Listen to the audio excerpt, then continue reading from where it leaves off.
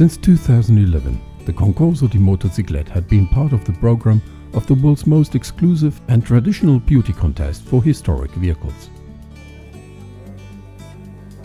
41 vehicles in 5 classes and one special class were presented in the 7th edition of this beauty contest. Once more, the history of motorized two-wheelers was presented to the public through the prism of popular classic machines and numerous exotic and rare unique that are generally only familiar to a handful of connoisseurs.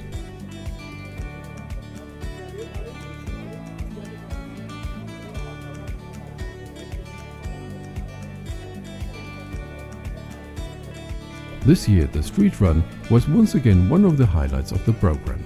On Saturday, the historic motorcycles made their way from the park of the Villa Erba through the streets of Cernobbio to the Grand Hotel Villa d'Este, where they paraded on the front of the jury.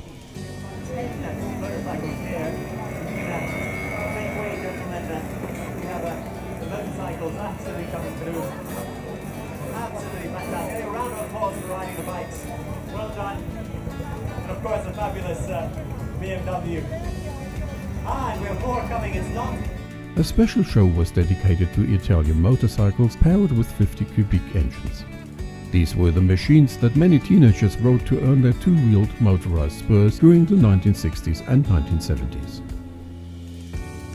Design studies and prototypes on two wheels were also presented on this year's Concorso di Motociclette for the very first time.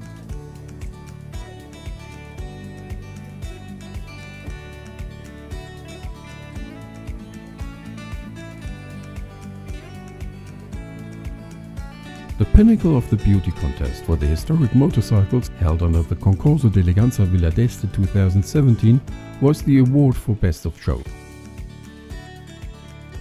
The expert jury, made up of experienced experts on the motorcycle history, conferred the award to the Puch 250 Indienreise, manufactured in 1933 and owned by the Italian collector Peter Reisch. The historic endurance touring motorcycle owes its name to a spectacular voyage of discovery from Vienna to Mumbai. The Puch 250 Indienreise comes from the Max Reisch collection. The architect lives in Bolzano and is the son of the journalist, writer and scientist Max Reisch, who made one of the most famous long-distance overland trips riding the Puch 250 Indienreise.